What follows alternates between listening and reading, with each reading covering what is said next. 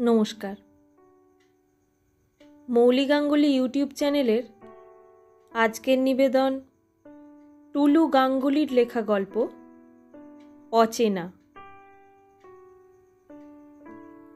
সমতা তার ন বছরের বিবাহিত জীবনে হাঁপিয়ে উঠেছে। স্বামীর আচরণ তার কাছে অসহ্য হয়ে উঠেছে। স্বামী অসীম তার যেন কোনো কিছুতেই হেলদোল নেই। অসীম সরকারি চাকরি করে। সমতার সঙ্গে তার দেখে শুনেই বিয়ে। বিয়ের বছর তিনেক পরে তাদের এক মেয়ে হয়।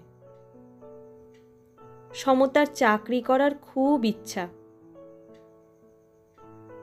কর্মক্ষেত্র পত্রিকা দেখে একটা প্রাইভেট কোম্পানিতে চাকরি জোগাড় করে।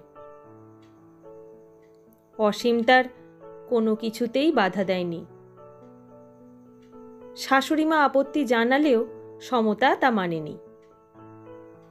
মেয়েটার তখন সবে মাত্র দু বছর বয়স। তবে একটা আয়া রাখে মেয়ের দেখাশোনার জন্য। অসীম সমতাকে কোনো বিষয়ে বাধা দেয় না। আর কোনো জিনিস জোর করে চাপিয়েও দেয় না। সংসারে যে সব বিষয়ে কথা বলতো, সে হচ্ছে অসীমের মা। খোকা, তুই বড্ড বেশি বউকে লাই দিচ্ছিস, একদিন বুঝবি। তাই অসীম আজ হাড়ে হাড়ে টের পাচ্ছে।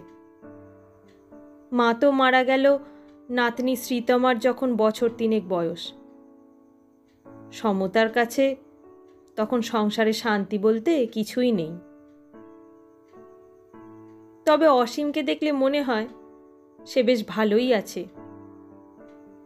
আর এতেই সমতার গা জ্বলে ওঠে। কথায় কথায় বলে, তুমি মানুষ? একবার তো আমার কথা ভাবো না যে সারা দিন অফিস থেকে এসে কি করে রান্না করব?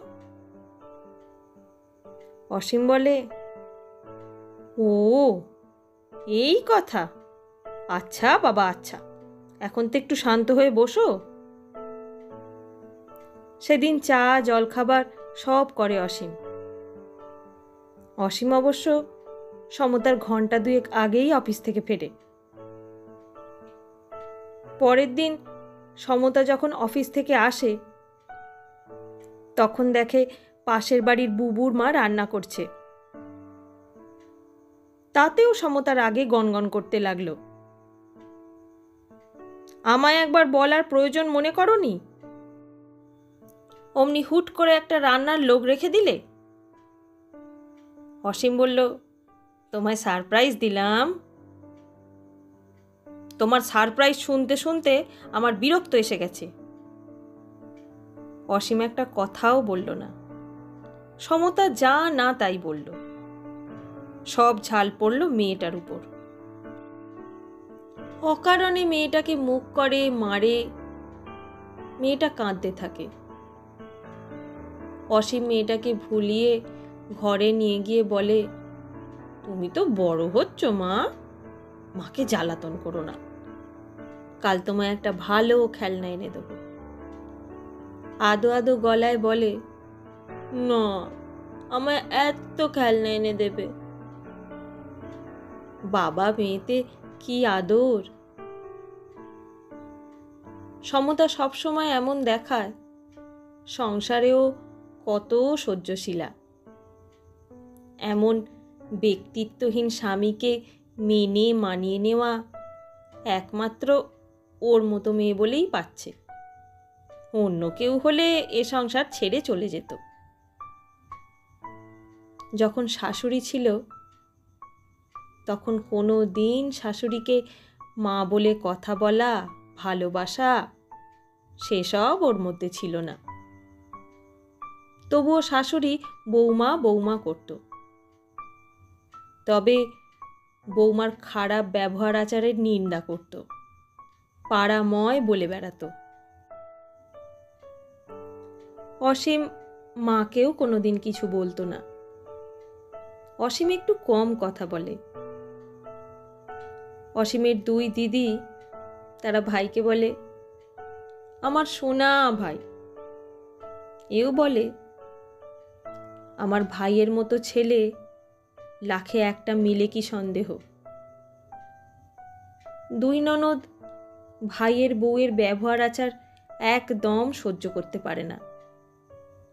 তারা বলে, এমন দেবতুল্য স্বামী পেয়েও যে মেয়ে এরকম অবহেলা করতে পারে। সে মেয়ে মানুষের কপালে প্রচুর দুর্গতি আছে। একদিন শ্রীতমার খুব জ্বর হয়েছে। ডাক্তারি ওষুধপত্র সব চলছে। কিন্তু সমতা আপিস কামাই করল না। অসীম সারাদিন মেয়েকে নিয়েই পড়ে রইল। মেয়ে রাত্রির বেলা কাঁদছে বলে সমতা অসীমকে ডেকে তুলে দেয়।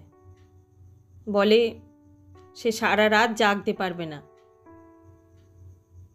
অসীমের ভালো ব্যবহারটা পেয়ে খুব পেয়ে বসেছে সমতা। সমতা চাকরি করে, কিন্তু কত মাইনে পায়, কি বৃত্তান্ত, কি কাজ করে, কিছুই জানে না অসীম। শুধু জানে, আপিসটা হচ্ছে পার্ক স্ট্রিটে। দেরি হলে ফোন করে নেয়। সমতা মর্জি মতো ফোন তোলে। তবে আজ অবধি সংসারে সমতা কোনো টাকাই খরচ করেনি। মাঝে মধ্যে মেয়েটার জন্য কিছু জিনিস আনে। তবে মেয়েটাকে অসীম যা জিনিস এনে দেয়, তাতে তার মায়ের আনা খেলনার প্রতি তার কোনো আকর্ষণই থাকে না। সংসারে যেন হাসি, আনন্দ কিছুই নেই। সমতার গায়ে পড়ে অসীম অপ্রাসঙ্গিক কিছু বাড়তি কথা বলে। তাই শুনে সমতা বলে, আমার অনেক কাজ আছে, তোমার কথা শুনলে চলবে না।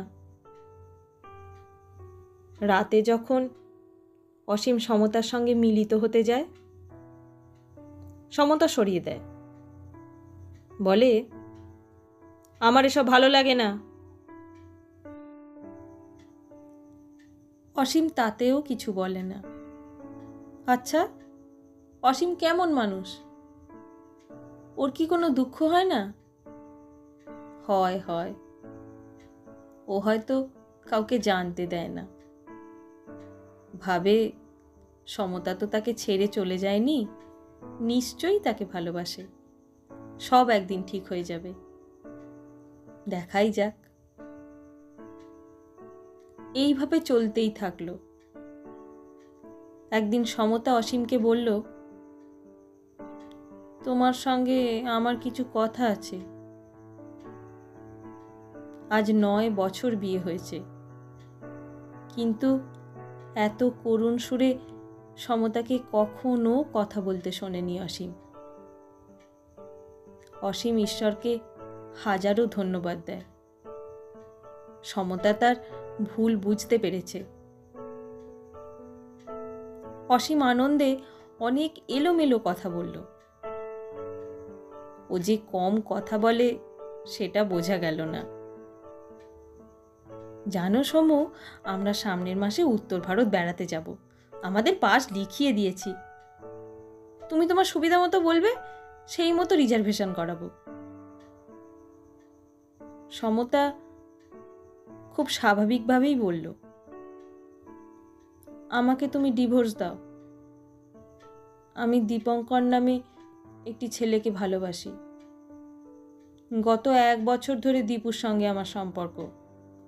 আমি ওকে ছাড়া বাঁচব না। দীপুও তাই। দীপু বলেছে, ও আমাদের মেয়েকে মেনে নেবে।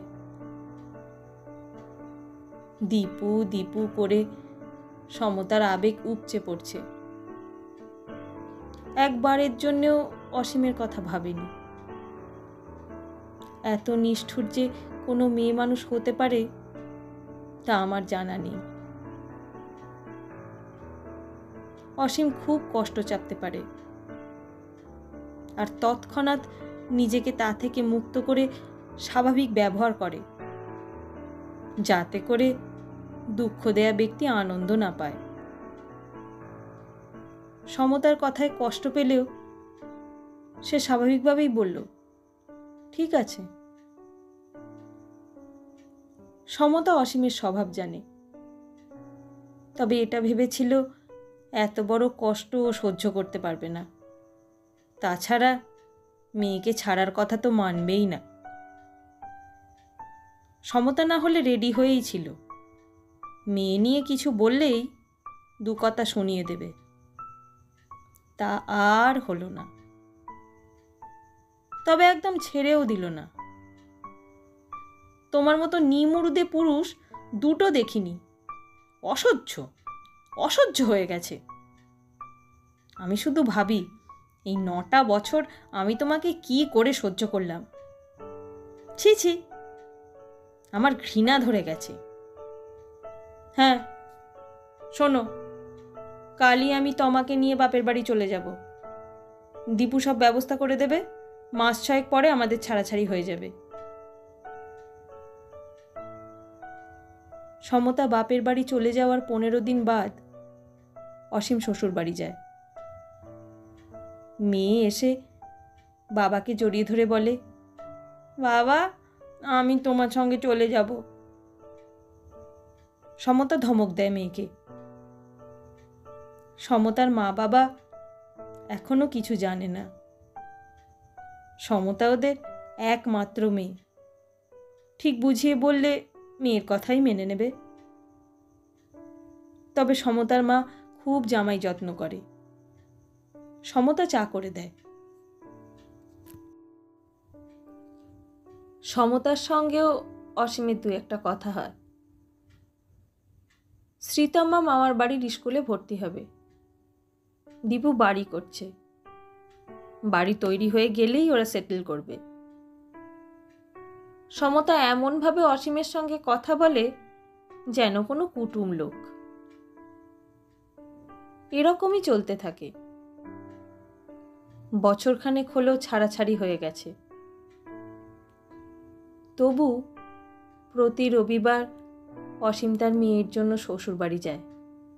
মেয়ের জন্য কত খেলনা, ক্যাডবেরি নিয়ে যায়। তারই মধ্যে অনেক খেলনা আছে, যেগুলো অসীমের আনা নয়। শ্রীতামা তার বাবাকে বলে, বাবা, একটা কাকু আসে, আমায় আদর করে, খেলনা দেয়। আবার মাকে আমাকে বেড়াতে নিয়ে যায়। গোটা কলকাতায় আমাদের গাড়ি করে ঘোরায়। আমি না যেতে চাইলে মা আমায় বকে। সেদিন অসীমের চোখে জল চলে আসে। মেয়ে বলে, বাবা, তুমি কাঁদছ? ওই দুষ্টু লোকটার সঙ্গে আমি আর কখনো কোথাও যাব না। সমতা সেদিন খুব সেজেছে আর মেয়েটাকে সাজাতে আসছে। মেয়েটা বলে আজ আমি আমার বাবার সঙ্গে খেলব। তোমরা যাও। সমতা বলে, দেরি হয়ে যাচ্ছে, বেশি বকিও না। আর তোমাকেও বলি, তুমি আর এরকমভাবে এসো না। মেয়েটা তোমার প্রতি দুর্বল হয়ে যাচ্ছে। প্লিজ, আমাকে একটু সুখে থাকতে দাও। বাবা মাকে সব বলেছি। আর দীপুর বাড়ি কমপ্লিট হয়ে গেলে আর মাস তিনেক বাদে আমরা বিয়ে করছি। তোমায় হাত জোর করছি। তুমি আর এসো না। মিষ্টি জল তো দূরের কথা। এক কাপ চাও জুটল না।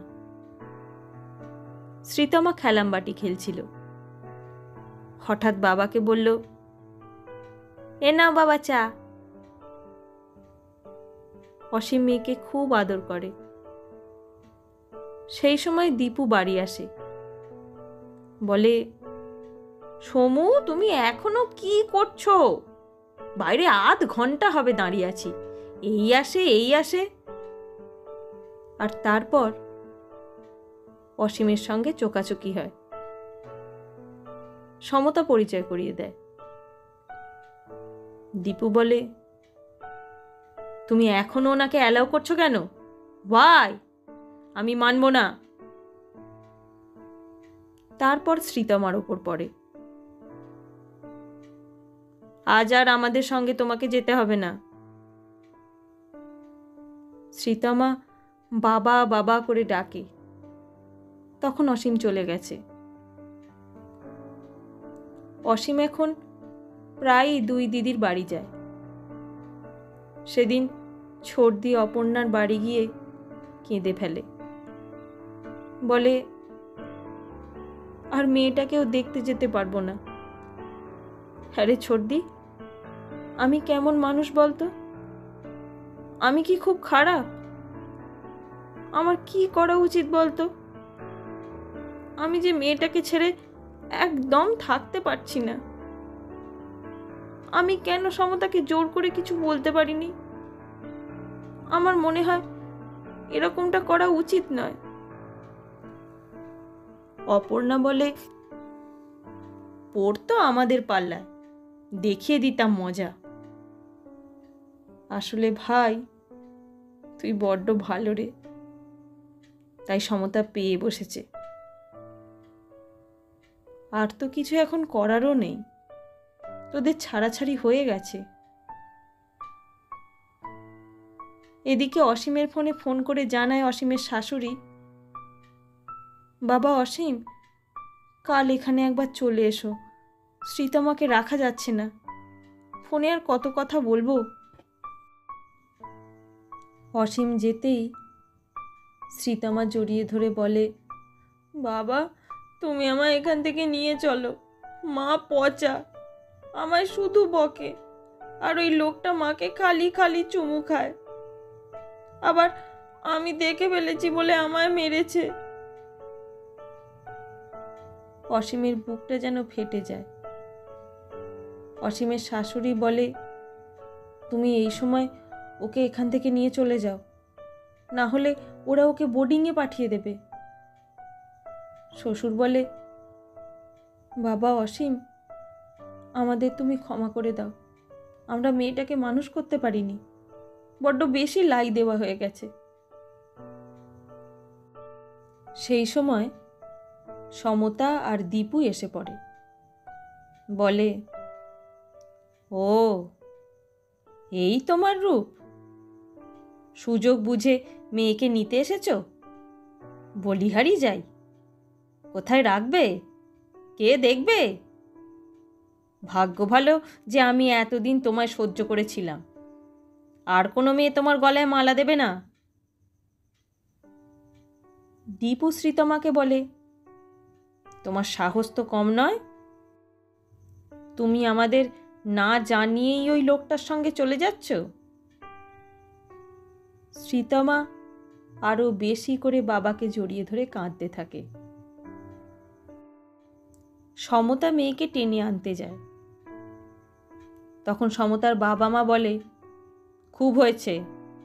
আর না, আমরা তোমার সব অন্যায় মেনে নেব না। তুমি তোমার অধিকার হারিয়েছ। তুমি শ্রীতমাকে নিজের কাছে রাখবে না বোর্ডিংয়ে রাখবে? এটা মানব না। তাছাড়া তুমি অসীমের মতো ভালো ছেলের সঙ্গে খারাপ ব্যবহার করলে আমরা তোমায় ত্যায্য মেয়ে করব। তোমার মতো মেয়ের আমরা মুখ দেখতে চাই না। সমতা বলে, বাবা! অসীম যেন আরও পাথর হয়ে গেল। বাবা বলল, আমি একটা কথা জানি, বাচ্চা যাকে চাইবে, তার কাছে থাকতে পারবে। ও যদি মাকে চায় তো চাইবে? সমতা বলল, তমা, তুমি আমার কাছে থাকবে না?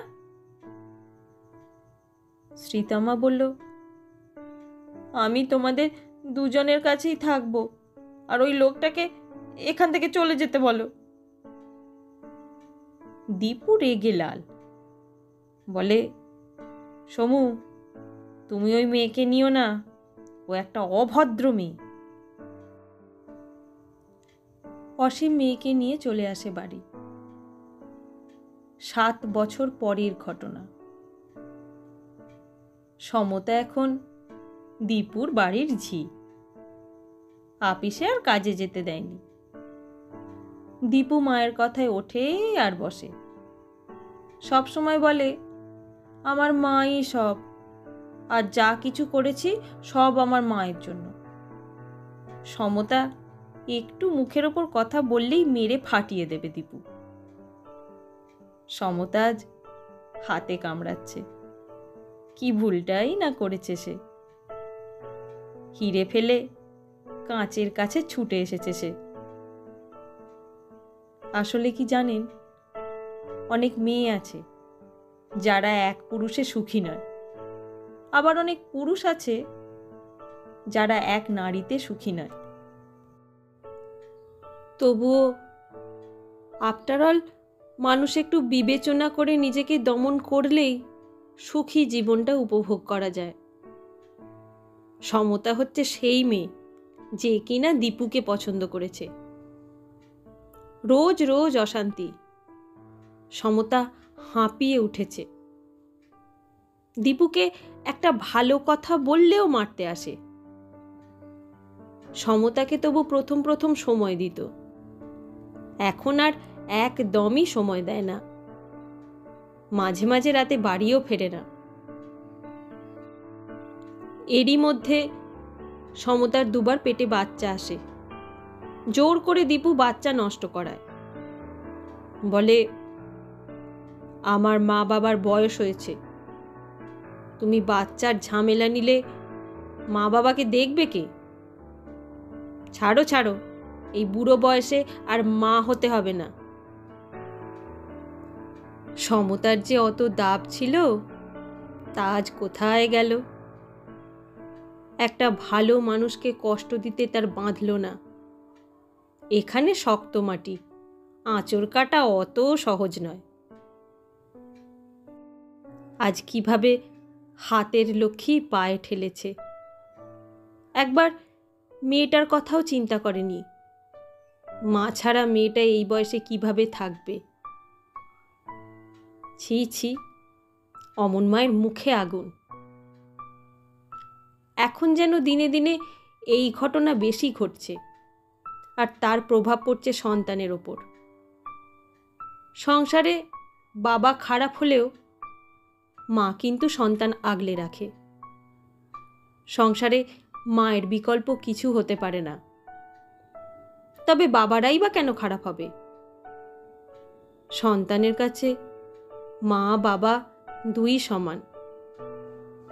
আজ সমতা চোখের সামনে দেখছে দীপু কতটা মা মা করে। সমতা তখন দীপুর গায়ে পড়েই সম্পর্ক তৈরি করেছিল। প্রথমে দীপু এগিয়ে আসেনি। যে কোম্পানিতে সমতা কাজ করত, তার ম্যানেজার ছিল দীপু। পরে অবশ্য দীপু সমতাকে ভালোবাসে। তবে এ ভালোবাসায় স্বার্থ ছিল। দীপু দেখল, এ যেহেতু বিবাহিতা, তার মাকে দেখবে। সমতা তো ওর স্বামীকে সহ্যই করতে পারে না। প্রথম প্রথম দীপুর সাথে বেশ আনন্দ ফুর্তি করেছে। কিন্তু জবে থেকে দীপুর মায়ের স্ট্রোক হলো, দীপু খুব ভেঙে পড়ে। আর সমতা চায় দীপুর সাথে ঘুরতে, আনন্দ করতে। দীপু মা, বাবা আর ছোট বোন ছাড়া কিছুই বোঝে না। তখন থেকেই ঝামেলা বাঁধে। এখন সমতাকে নিয়ে অশান্তি তুঙ্গে। এভাবেই চলতে চলতে অশান্তি চরমে উঠল। একদিন হঠাৎ করেই সমতা দীপুর আপিসে যায়। গিয়ে শোনে দীপঙ্কর স্যার একজন ম্যাডামের সাথে বেরিয়েছে। সঙ্গে সঙ্গে দীপুকে ফোন করে। হ্যালো দীপু? দীপু বলে, সমু, মা কেমন আছে? সমু বলে, তুমি কোথায়? দীপু বলে, কেন? অফিসে? সমু ফোন কেটে দেয়। তারপর দীপু ওই মেয়েটার সঙ্গে গাড়ি থেকে নামে আর সামনে দেখে সমুকে। বাড়ি ফিরে সমতাকে মেরে তাড়িয়ে দেয়। বলে, আমাকে সন্দেহ? খারাপ মেয়ে ছেলে? আমি তোর মুখ দেখতে চাই না। শাশুড়ি বলে, বৌমা, তোমার একটু লজ্জা হওয়া উচিত। তোমার জন্য আমার ছেলে কি না করেছে? তুমি অন্যের স্ত্রী জেনেও তোমায় গ্রহণ করেছে। এখন বুঝতে পারছি তুমি কেমন মেয়ে ছেলে। তুমি হচ্ছে একটা পুরুষ মজানো মেয়ে ছেলে। না হলে তুমি আমার ছেলেকে সন্দেহ করো? দীপু বলে, না মা, আমি ওর সঙ্গে ঘর করতে পারব না। মা বলে, তুই তো আমার কথা শুনলি না, এবার বোঝ। একটা আইবুড়ো মেয়ে হলেও নয় জানতাম। সেই দিন উপায়ন্তর না দেখে রাত্রিবেলা সমতা বাবা মার কাছে চলে আসে। এই সাত বছরে একবারও বাবা মার খোঁজ করেনি সমতা। বাবা মা দুজনেই চমকে ওঠে মেয়েকে দেখে। কি রোগা লাগছে, কালো লাগছে, অমন ধপধপে ফর্সা রং যেন কে কালি ঢেলে দিয়েছে। যাক বাপ মা তো তাদের আর কে আছে? তাই সমতাকে আর কিছু বলেনি। তবে সমতা যে দীপুর কাছে খারাপ ব্যবহার পেয়েছে, সেটা বাবা মাকে জানায়নি। শুধু বলেছে যে সে আর দীপুর কাছে জীবনেও ফিরবে না। শ্রীতমার খোঁজ এতদিন সমতার বাবা মাও নেয়নি। কোন মুখে আর খোঁজ নেবে? সমতাকে শুধু তার মা এটা বলল, জীবনটা ছেলে খেলা নয়। আরও উপদেশমূলক কিছু কথাবার্তা বলে মেয়েকে বোঝায়। সমতা বলে, আমি আমার মেয়ের জন্য অসীমের সঙ্গে দেখা করব আর শ্রীতামাকে আমার কাছে রাখব। আর অসীম চাইলে মাঝে মধ্যে এখানে এসে থাকতে পারে। আমার কোনো আপত্তি নেই। তুই যাবি? যা না। দেখবি অসীম তোকে ক্ষমা করে দেবে। ও দেবতুল্য পুরুষ। ঠিক বলেছ, মা। আজ সমতার বারবার মনে হচ্ছে, যে মানুষটা কারও মুখের ওপর কথা বলতে পারে না, আর আমি তার সঙ্গে ছি ছি। আজও গিয়ে দাঁড়ালে হয়তো না না, আর দুবার ভাববো না। অসীমের বাড়ির দরজার বাইরে দাঁড়িয়ে সমতা চারিদিক তাকিয়ে তাকিয়ে দেখছে। দেখে বাড়ির ভোল পাল্টে গেছে। একতলা থেকে দোতলা হয়েছে। বাইরে থেকে বাড়িটা খুব সুন্দর লাগছে। বাইরে একটা গাড়ির গ্যারেজ, তাতে গাড়ি রাখা আছে। দরজাটা ভিতর দিয়ে বন্ধ। আজ রবিবার, দুপুরবেলা। নিশ্চয়ই দুজনেই বাড়ি আছে। দরজায় টোকা দিতে গিয়ে দেখে কলিং বেল লাগানো আছে। বাহ, কি সুন্দর বাড়িটাকে করেছে। সত্যি? আজ কত দিন পর? হ্যাঁ আমি যখন যাই তখন তোমার সাত বছর মতো। আর সাত বছর পর এখন চোদ্দ বছর মতো বয়স হবে। একরাশ অভিমান জমা হয়ে আছে জানি। প্রথমে হয়তো তমা আমার সাথে কথাই বলবে না। আমি অসীমের পা ধরে ক্ষমা চাইব। মেয়ের কাছেও ক্ষমা চাইব। দেখি, ওরা আমায় কি করে ফিরিয়ে দেয়? অসীম সে ধরনের মানুষই নয়। জানি আমি খারাপ, খুব খুব খারাপ। রাস্তা দিয়ে এদিক ওদিক মানুষ আসা যাওয়া করছে। তবে দুপুরবেলা তো? না না। আর দেরি করা ঠিক হবে না। কলিং বেল বাজায়। ওমা, দরজা খুলে দেয় শ্রীতমা। সমতা বলে, তমা, মা আমায় চিনতে পারছিস? রাগে তমা বলে না। সমতা জড়িয়ে ধরে আদর করতে থাকে। ক্ষমা কর মা, আর তোকে কখনো ছেড়ে থাকব না। আর ওই দুষ্টু লোকটার কাছেও যাব না। শ্রীতমার সারা গায়ে চুম্বনে ভরিয়ে দেয়। হঠাৎ ঘোর ভাঙে। দরজা খুলে এক ভদ্রমহিলা বলে, কাকে চাই?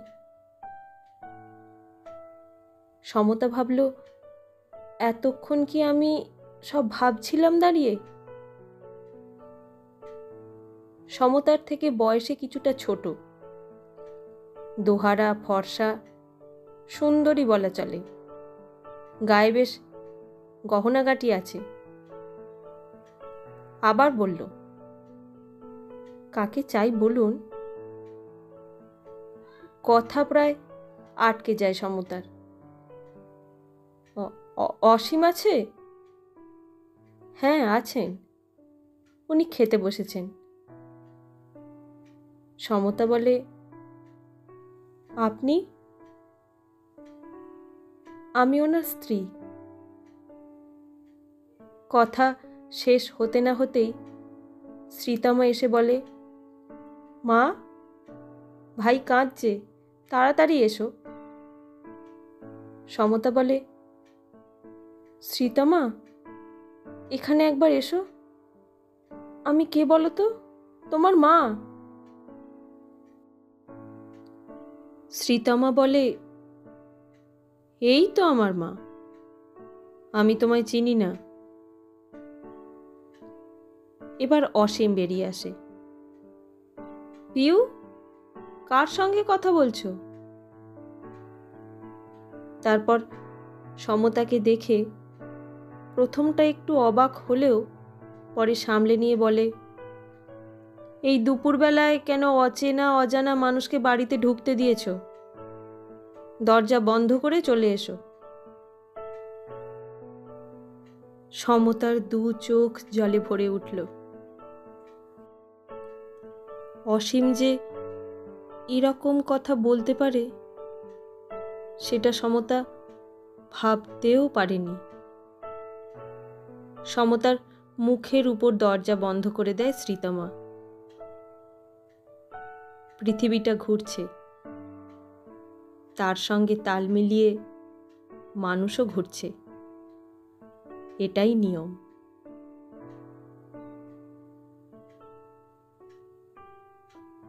নমস্কার। গল্প পাঠে এতক্ষণ আপনাদের সঙ্গে ছিলাম। আমি মৌলি।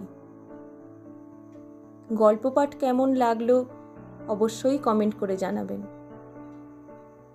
ভিন্ন স্বাদের অডিও স্টোরি শোনবার জন্য আমার মৌলি গাঙ্গুলি ইউটিউব চ্যানেলটিকে অবশ্যই সাবস্ক্রাইব করবেন। সকলকে অনেক ধন্যবাদ দুশো সাবস্ক্রাইবার পার করানোর জন্য। সবাই ভালো থাকবেন, সুস্থ থাকবেন।